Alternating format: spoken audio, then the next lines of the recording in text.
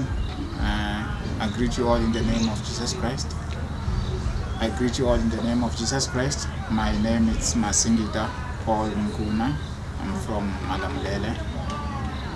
Uh, the reason why, the reason that brought me here to Charis today was, uh, first of all, was to ask for God's word about my life. Um, at times one needs to understand where he or she comes from to know better of where you, you're going and where you stand in life with God. And it was all brought to light to me today, so I thank God. I started knowing uh, Charis TV through television and through friends. Uh, you know, having friends who love the Word of God it's easy to identify which one goes to which church and all that. So yeah, I knew Charis through through friends. They enjoy it. Uh, today I got a chance to meet with the prophet, uh, the man of God, and he prophesied to me. And I want to confirm that all the prophecies that were told to me, actually, he told me four things. I want to confirm them to be true and I thank God for, for giving me such an opportunity. The first uh, prophecy that he gave was regarding my parents, uh, the separation of my parents. Uh, I remember being a first time to see the man of God, the prophet, one-on-one, -on -one, means he doesn't know anything about me or where I come from or the family. So I was shocked to hear him talk about uh, my parents' separation. So yes, I do confirm that my parents are separated. They have been actually they, they got separated when I was about nine years. However, we we still a close family. So I do confirm the, the prophecy to be true. The second prophecy was about my job. He said I'm not happy where I'm working. I confirm that to be true. Actually, I, I was never happy with this job, even from the first place when I got it. Reason being that it was taking me away from where, from the church that I called home. It took me away from the pastor that helped or assisted in making me who I was becoming or who I am today terms of living for God. So even now I'm still not happy. I wish I could maybe have something like a business not to, to be a worker and so that can I can have a lot of time to to do God's work because working just just taking all all the time away from taking my time away from God so I do confirm that the, the prophecy is true. I'm not happy where I'm working. The third prophecy was about uh, spirits hovering over my, my kids and my marriage. Uh, first spirit is a spirit of death. I do confirm that. Uh, my first daughter uh, died in 2017 she was nine years old. Uh, I won't give much information on how she, she went on, but I do confirm the prophecy to be true. And about my marriage is, uh, I said we, my wife and I are always having arguments, and unnecessary arguments. I, I do confirm the words to be to, to be true. Even this morning we we had an argument. Uh, so I do confirm the prophecy to, to be true. After seeing the servant of God, I feel released in this way. Like it's like I had I had something heavy on me. Now I feel I feel light. I feel released and empowered to continue serving uh, God and doing His His work. To those who who do not entirely believe that God sees his or her heart. I'm saying to you, find the right church or you can come and see the man of God, the prophet here at Charis, and hear the word of God concerning your life as well. Because I got help today, and this will encourage me to continue working for God. For I know who God is to me, and I know who, where I stand with Him now. So I was telling your partner about us. I even told him, where are your children? I need to pray. I don't know the children are. There's been a spirit that wants to kill you. You know what has happened, isn't it? When they were still Even about the one, passed. I was speaking with your husband. I want him to focus on the things of God now. Else, you know why I said bring the car? Because to kill you this time. Amen.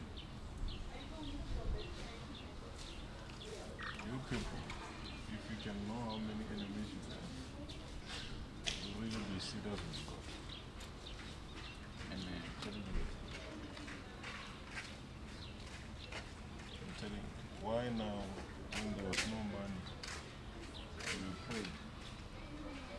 Pastor, when you got two rand, you will forget God. That's a prayer. That's a prayer. That's an evil prayer. You know what God told me one day? He said to me, if you forget where you come from, your own people, your own people, my own people, they'll kill you. You know, God was trying to remind me that if, if, if you forget you're poor, you forget because now money has come, you forget you will die. That's what God was trying to do. I'm also telling you the same thing. Your husband was saving God nicely. Nicely, brother. Because of this car. Come on, Let's not lose our lives because of things we did. Tell you things.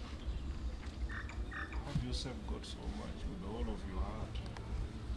Now it's more blessing. There's more that God wants to give you. Too much. There's more. And God wants to give both of you. Amen. I was telling you, I, I want God to give you peace. I want you to forgive this pastor.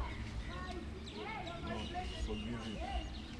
Because of the things we was saying. You. I believe Jesus will help you.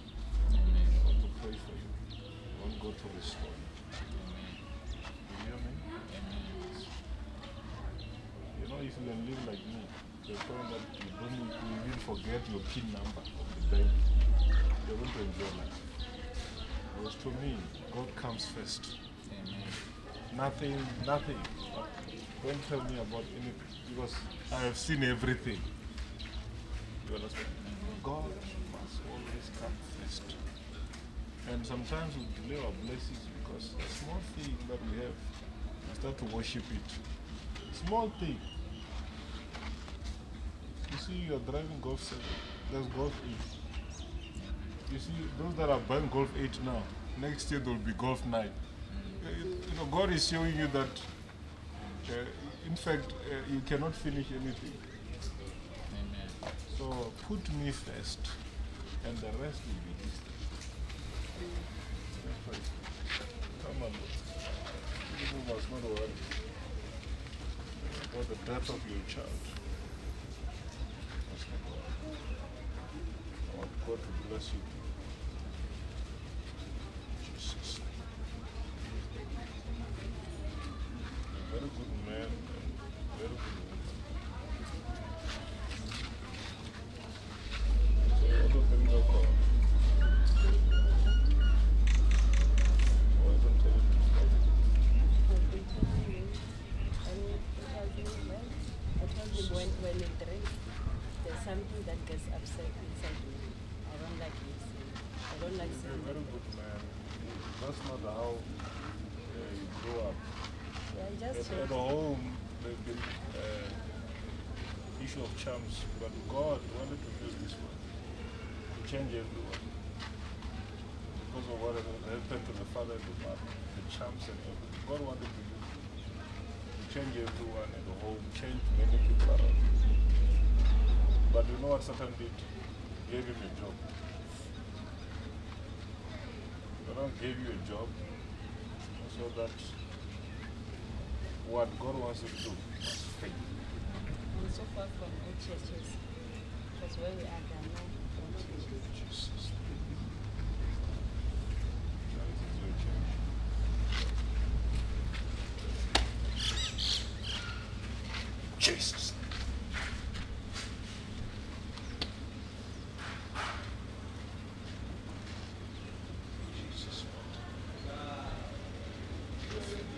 What does it restore you from? Oh, Jesus.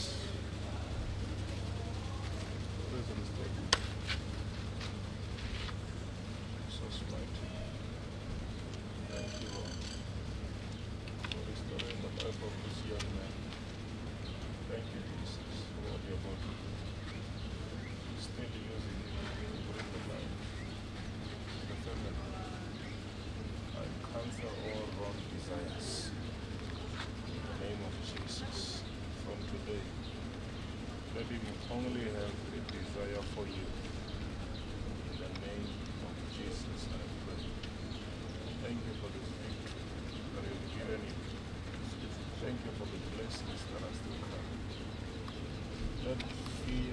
fear of it in in the name of Jesus, I pray.